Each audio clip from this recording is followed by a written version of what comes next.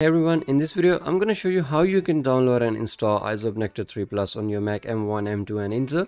I got my download from extraplugins.com. This is a really nice secure website for all your music solutions. So I got my download from here for just uh, 24.99. They offer for the Mac and Windows as well. You can read the reviews uh, it's pretty good website overall and they offer the lifetime activation and access to download future free updates full version instant download and they have the 24 7 live chat support as well. In case you're having some issue they're gonna help you out on the live chat instantly.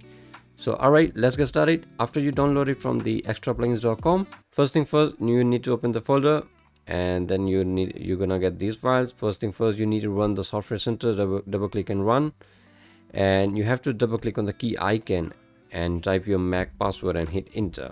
So as you can see when i type my mac password i cannot see anything. So the password is hidden.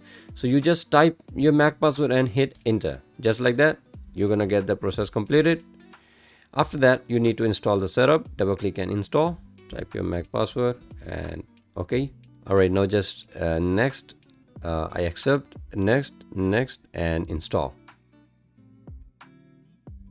Alright, so once it's installed, we we need to install the license as well. Go to the license folder, and we got one the Apple Silicon processor, uh, M1, M2, and and another one we got the Intel.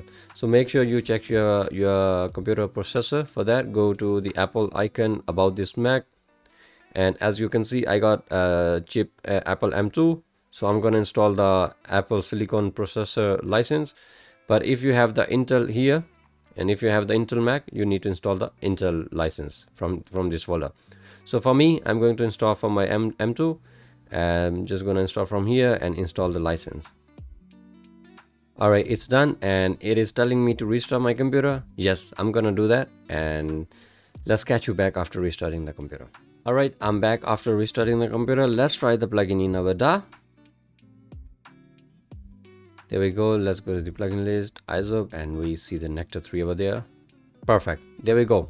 It is working it is full version and this is lifetime activated. There we go. So all right guys thank you so much for watching this video. I'm gonna catch you in my next video. Peace